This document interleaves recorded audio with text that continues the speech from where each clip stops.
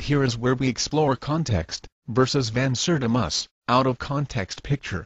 So what do we really know about Monument F of Tres Zapotes? It is made of basalt, possibly carved with jade tools, which means, the smaller the sculpture, the less fine the details will be. It is much smaller than the colossal heads, and its facial carvings, much more primitive. We have a vague outline of a face and of a possible hairline that ends in what looks like a flat top. The pudgy face is not clearly outlined and the carving is crude. It is in a prone position that could be for sacrifice or indicate that he is a prisoner. We really can only guess. His facial features are actually not like any Nilotic or Niger-Congo populations. The face is much too flat, and the brow line is way too pronounced. If we look at artwork from Nigeria and Benin, we clearly see that peoples in that region did not depict themselves with flat pudgy faces with pronounced brow ridges. We do see similar features with flat faces and pronounced ridges in local Native American populations that also have the broad nose and thick lips, albeit, not as pronounced as the crude carving of Monument F. We see much more detailed facial carvings in jade,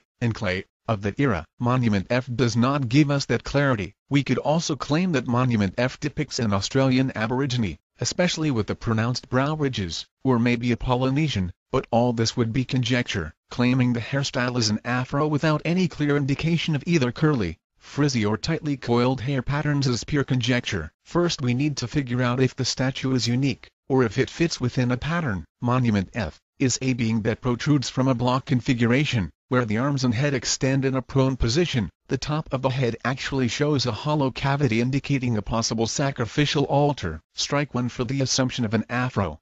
Have we seen this configuration before? Yes, Monument G, at Tres Zapotes, and the so-called monkey staring at the sky. Monument G, is very deteriorated, but monkey is not. Monkey clearly shows a similar prone position, once it has been laid down and similar flat top with a widow's peak. So is Monkey really an African man as claimed by some? Well, one clear indication he is not human is his ear. It is pointy, like that, of a monkey. Anthropomorphic animals have been seen in Olmec art many times before. We are well acquainted with were jaguars. In fact, a very similar sculpture has been attributed to a were jaguar. It could be, where jaguars are seen everywhere, but looking at so-called monkey looking at the sky, and looking at a few other anthropomorphic figures with similar flat tops, protruding mouths and widow's peak hairlines, we may be looking at anthropomorphic monkeys as well. After all, we have no idea how the Olmec would have visualized humanized monkeys, but we do know many variations of how we have envisioned them ourselves,